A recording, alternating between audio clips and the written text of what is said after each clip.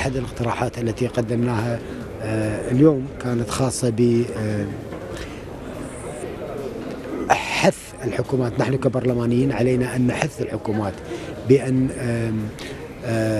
تساهم في من خلال صناديقها السيادية في الاستثمار بالشركات والمشاريع المتعلقة بالطاقة البديلة. هذا من جانب. من جانب ثاني أيضا نحث قدمنا اقتراح بحث الحكومات على تحويل جزء من ميزانيات التسليح والدفاع في دولها إلى بند خاص بمشاريع التنمية المستدامة سواء في البحث في ال research أو في التطوير ال development بشأن الطاقة البديلة.